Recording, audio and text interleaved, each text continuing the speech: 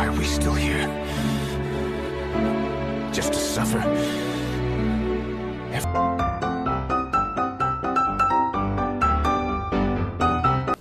Why? Why? Why? Why?